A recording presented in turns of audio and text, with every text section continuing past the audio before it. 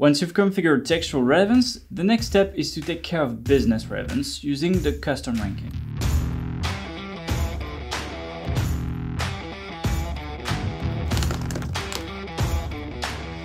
You can think of the business relevance as a record's intrinsic value for your business.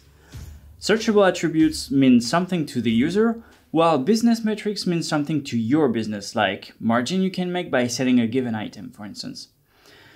Thanks to custom ranking, your search will be able to return great results from the first keystroke. If there's one thing you should take away from this video, it's the following. A good relevance requires at least one custom ranking. Let's start simple by configuring a single business metric first. Going over our record here, I can see that the ordered quantity is probably the one that will yield the most value for both you and your users. Records with a high quantity of orders are the most popular ones, so you'll want to show them first. To put the higher ordered quantity first, set it as descending. If we want to push that configuration to the index, this will look something like this.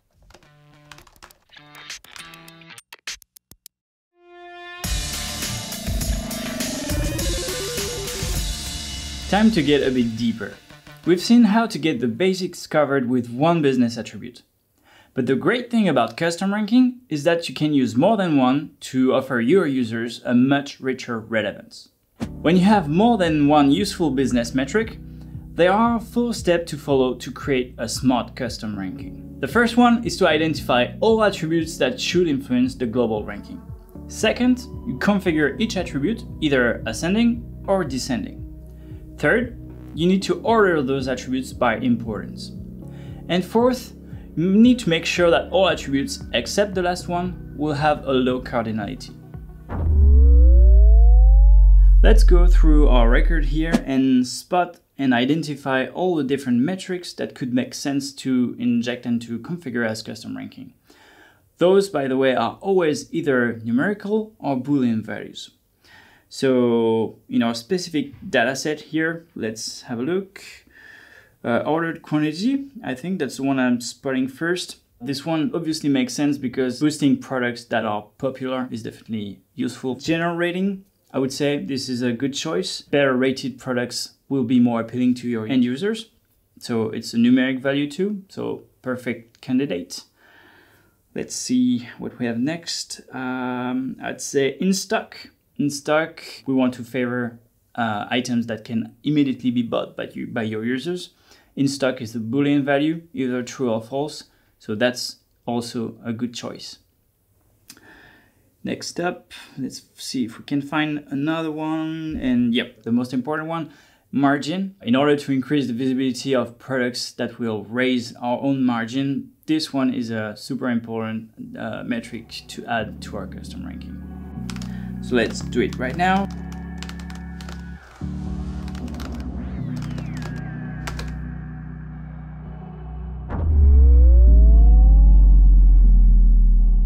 The second step is to configure each attribute. If a higher value means a better ranking, then you need to set it as descending. Otherwise, set it as ascending. So let's go back to our dataset and identify those. So ordered quantity, general rating and margin, they should all be set as descending because the higher the number, the better.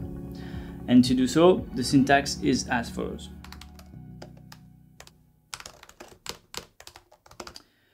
Uh, let's see what we have left in stock. In stock is a boolean um, with two possible values, true or false. So to promote results that are still in stock, we also need to set it as descending and the syntax is actually the same. The third step is to order the attributes by importance. By the way, there is no absolute best ordering for custom ranking, because it really depends on our business objectives.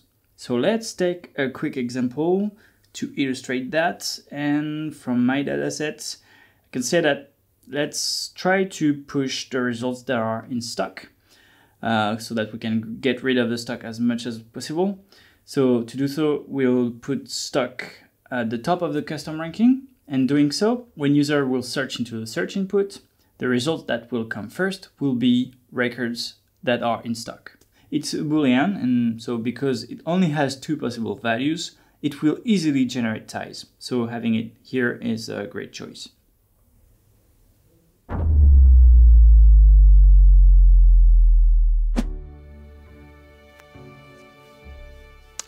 Cardinality is the number of distinct elements in a set. So imagine we have five elements, but with three different values across. We would say that this is a cardinality of three. Ordered quantity, the next one, is such a precise number that very few records will have the same value. So we need to find a way to reduce its cardinality.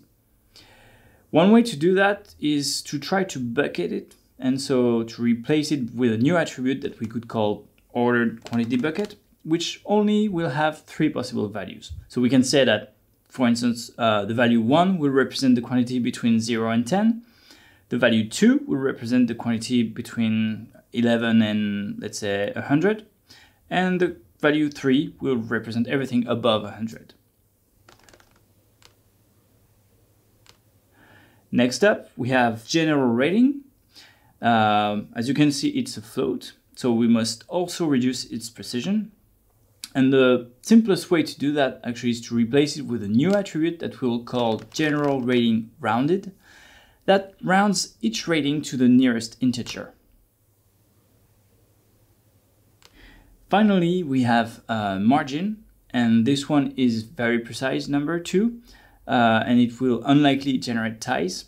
But actually, in last position, this is fine, so we can keep it this way. To apply our new configuration, we simply need to pass it to the engine so that it can rebuild our index accordingly. So let's do it right now.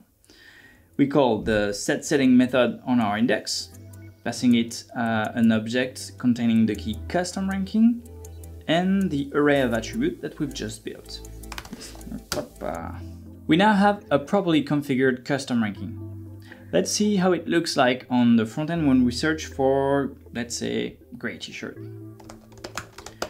So yeah, the results are pretty good actually. So now texturally it's still the same, uh, very relevant. But now when we look at all those results that we can see it matches exactly my business needs. So in terms of in stock, we see that all the first results are in stock and even further than that, the rating is great. So we can see that our config has been taken into account. And that is how to bake business relevance directly in your result set by configuring the custom ranking on your index. Again, don't worry if you don't get it right at the first time. This is an iterative process and you need to play around with your data to get things right.